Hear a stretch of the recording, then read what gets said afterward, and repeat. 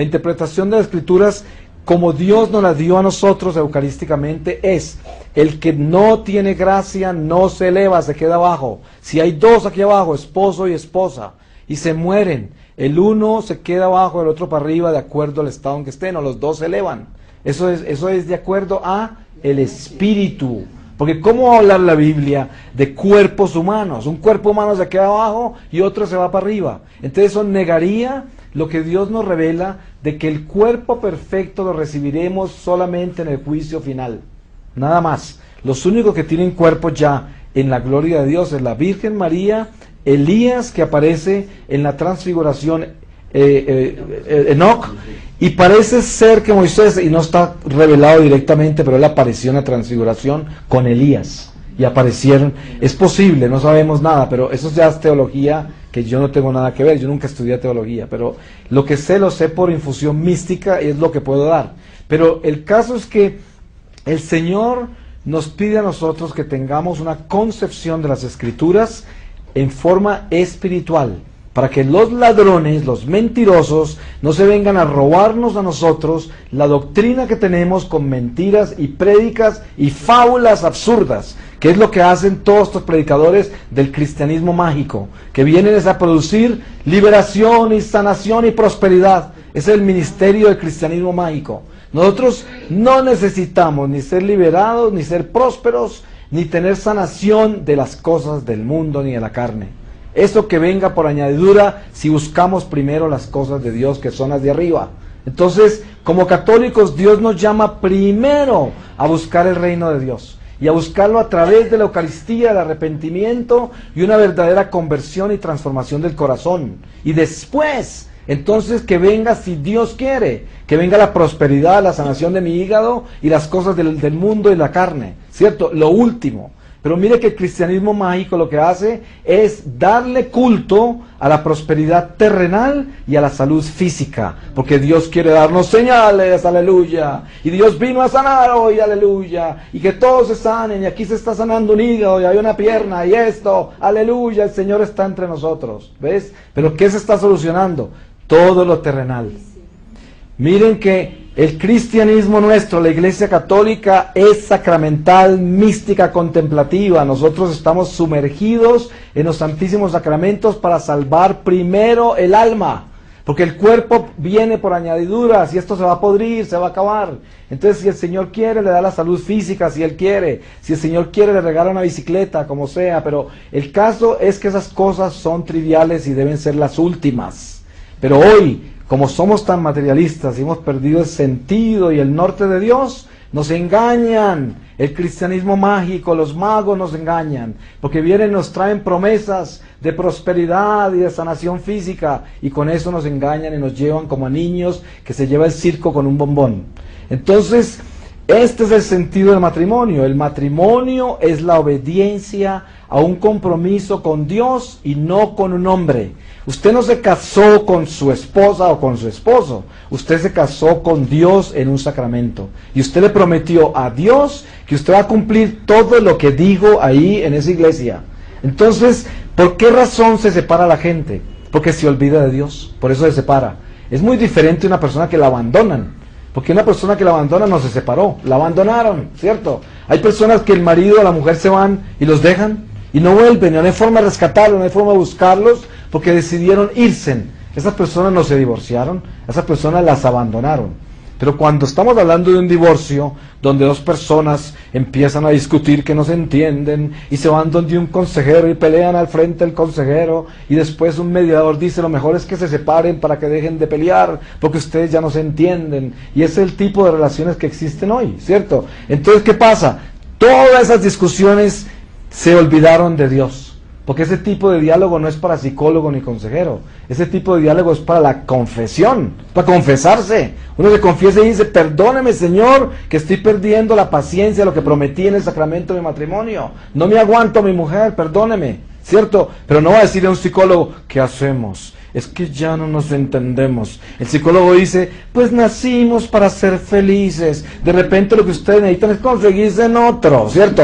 ¿Por qué? Entonces, uno lo que tiene que hacer es, el matrimonio católico es un matrimonio sacramental. sacramental. Si usted tiene crisis en su matrimonio, pues tenga la penitencia que Dios le pide, arrodíllese y confiésese. Y siempre declárese culpable usted. ¿Sí me entiende? Porque el problema de los matrimonios cuando tienen conflictos es porque siempre le buscan la culpa al otro. Y nadie, y cuando usted esté poniendo el dedo hacia afuera, se está maldiciendo usted mismo. Porque el dedo se tiene que poner hacia acá. Yo me tengo que señalar primero, antes de señalar al otro. Por eso, yo pongo un ejemplo a veces. Si usted sale de su casa y en la puerta de su casa un loco viene y le da una palmada en la cara a usted, lo primero que usted decir es, ¿qué haría de malo para que el Señor mande a este loco a palmotearme? ¿Cierto? Ese es el verdadero sentido de una realidad católica. ¿Y cuál es la realidad del pagano y del rebelde? Es decir, ¿cómo se atreve este loco? ¿Cómo lo tienen suelto? Hay que encerrarlo, llamar a la policía que encierran a este loco, porque toda la culpa se la pone al loco, porque usted es inocente, claro. Usted es inocente. Si usted no tiene nada que ver con esa palmada del loco. Nada. Pero la realidad es esta. Como católicos, nosotros no podemos olvidar la mística de nuestra existencia. La vida nuestra es espiritual. Si nosotros solo somos de la carne, de los instintos, los sentidos y la razón, somos simples animalitos. Pero si usted quiere vivir a la altura de los sacramentos y usted quiere vivir como un católico, viva como un Cristo. Y un Cristo es una presencia mística en su vida, en todas las cosas que hace. Entonces, todas las cosas que le suceden, piense por qué le suceden. Y primero que todo, atribúyaselas a usted. Si usted tiene problemas en su hogar, diga, ¿qué clase de líos estaré yo haciendo para poder producir este tipo de problemas en mi vida? Así sea de que el otro es infiel, así sea de que la otra persona es cruel, échese la culpa a usted primero. ¿Me entiende? Y piense, haga una reflexión y dígale, Señor, perdóname. Porque seguramente los problemas de mi matrimonio yo los creé. Perdóname. Es el principio de la reconciliación. El hombre sentirse el menos importante. Porque así dice el Señor. Siempre piensas que eres el último, que todos los demás sean primero. Y en esta forma triunfarás. Porque la humildad siempre triunfa. El orgullo siempre pierde. El acusador se llama Satanás. El que antes acusaba a sus hermanos en el cielo fue fue desterrado, lanzado a la tierra y ahora acusa a la humanidad. Cada vez que nosotros levantamos nuestra mano para acusar a un hermano, estamos levantando la mano con el diablo, porque él es el acusador. Nosotros no podemos acusar a nadie.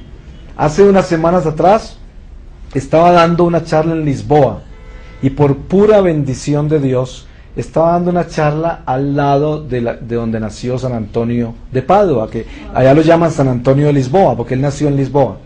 Y en el sitio donde él nació construyeron una iglesia muy hermosa. Ya se imaginarán lo vieja que es, porque hace muchos siglos que él nació. Y hay un, testimonio que los que conocen la historia de él lo deben saber. Eh, esa ciudad era amurallada. San Antonio ya estaba con San Francisco de Asís en Italia. Y su papá vivía ahí en Lisboa y la ciudad amurallada. En un momento dado tiraron un muerto por encima del muro y cayó en la casa del papá de San Antonio y lo culparon a él de ese asesinato. Entonces, eh, San Antonio tenía bilocación y San Antonio supo que el papá estaba en un juicio por asesinato, lo iban a matar. Entonces, el día de juicio, San Antonio apareció allí. Y claro, todo el mundo se asusta porque ven al fraile ahí y todo el mundo se imagina este cómo llegó acá, qué hora le avisaron, si en esa época para avisar a una persona tenía que mandar un barco y cuánto se demora, y eso es cuestión de días, no tiene sentido, y aparece él ahí. Entonces cuando él llegó dijo, acompáñeme al, a ver al muerto al cementerio. Y se fue el juez y se fueron todos hasta el cementerio. Hizo que abrieran la tumba. Y cuando abrieron la tumba le ordenó al muerto que se levantara. Y se levantó y le dijo, ¿mi papá te mató? Dijo él, no. Entonces, oye, ¿se imaginan, ¿se imaginan que esto, ustedes se pueden imaginar que, se pueden imaginar que esto es verdad, esto es historia real? Y miren, miren esto, el muerto le digo que no. Y entonces, antes de despacharlo, San Antonio, le digo, ¿qué quieres? Digo, deme la bendición porque morí en pecado mortal. Y San Antonio le dio la bendición y se murió en paz. Y el juez le preguntó, ¿cómo no le preguntó quién, quién fue que lo mató? Y dijo, yo no vine aquí a acusar a nadie. Sí. Entonces, imagínense ustedes, piensen, este ejemplo de San Antonio es el ejemplo sacramental. Por eso en el matrimonio usted no es el acusador, porque el acusador se llama Satanás. Nadie acusa a nadie, nadie puede acusar a nadie, ni siquiera se puede acusar a sí mismo usted. Elías que aparece en la transfiguración, eh, eh, eh, Enoch, y parece ser que Moisés, y no está revelado directamente, pero él apareció en la transfiguración con Elías, y aparecieron, es posible, no sabemos nada, pero eso ya es teología que yo no tengo nada que ver, yo nunca estudié teología, pero lo que sé lo sé. La interpretación de las escrituras como Dios nos la dio a nosotros eucarísticamente es el que no tiene gracia no se eleva, se queda abajo. Si hay dos aquí abajo, esposo y esposa, y se mueren, el uno se queda abajo, el otro para arriba, de acuerdo al estado en que estén, o los dos se elevan. Eso es, eso es de acuerdo a el por infusión mística, es lo que puedo dar.